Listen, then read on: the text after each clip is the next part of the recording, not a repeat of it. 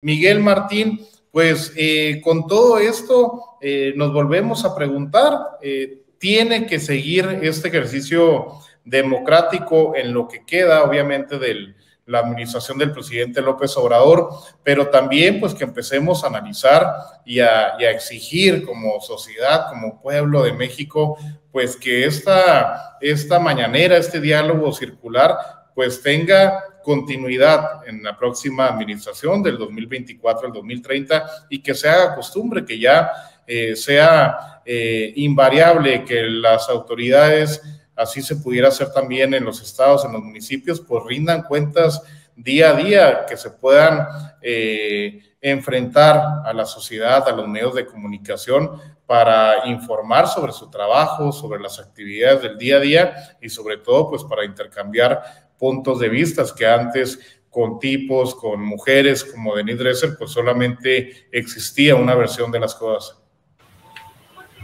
Pues sí, yo creo que tiene que volverse parte de todo este proceso en el que nos volvemos mayores de edad como ciudadanos, que al mismo tiempo de que los ciudadanos buscamos más mecanismos de participación, que lo decíamos la semana pasada, ¿no? Que un gobierno que se precie de, de apreciar lo que tiene por pueblo, eh, pues le pone a la mano estos mecanismos de participación, como son el referéndum, como son eh, el, plebiscito, la consulta, pero también esto debe ser eh, recíproco, ¿no? Por parte de, los gobernantes, pues también tuviera que ser un, pues ya una constante, o más bien un estándar, debiera de ser un estándar esta pues diaria rendición de cuentas de cierta manera, ¿no? Este diálogo circular a diario que pues así como nosotros buscaríamos como ciudadanos eh, participar más en la toma de decisiones más activamente y durante épocas no electorales, pues también obviamente eh, es una forma en la que se, le pagaría eh, al pueblo o, sería lo, lo, más lo más completo, lo más, lo más, digamos, congruente en este sentido, pues hacer una rendición de cuentas a diario, ¿no? Porque no nada más, eh, ni es de depositar el, voto y desentendernos, ni tampoco que, que, el gobernante tome posesión y se desentienda, ¿no? La administración pública nos la habían hecho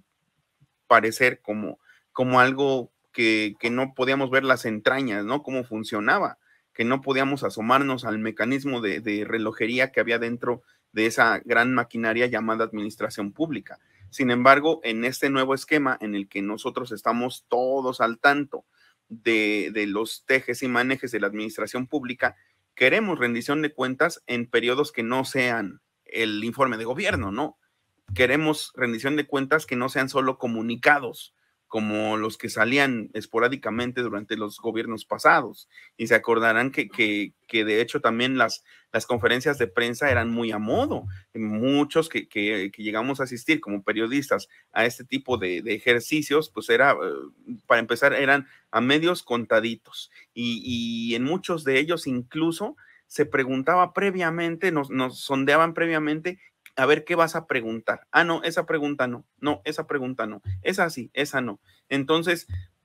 eso era muy esporádico y eran más bien montajes. Y lo que tenemos ahora, pues es algo que es rendición de cuentas a diario, es diálogo circular, como bien se le llama, y, es también, pues, dar la cara, dar la cara a diario. Ya hubiéramos querido, imagínense, por ejemplo, cuando sucedió lo de los 43, si inmediatamente a la, a, la, mañana siguiente, pues hubiera habido una conferencia de prensa así de cajón con Peña y a diario un seguimiento, otro gallo nos hubiera cantado, o a lo mejor más bien, pues ni siquiera hubiera sucedido esa tragedia, ¿no? Pero pues esto se tiene que, que convertir en un estándar porque así como, como lo he dicho con las cuestiones electorales,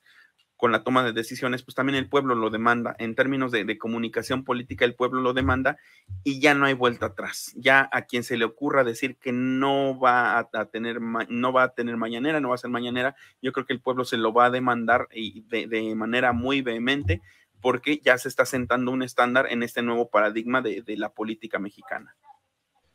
Así es, Miguel Martín, y es muy interesante lo que nos comenta y con eso cerramos este bloque.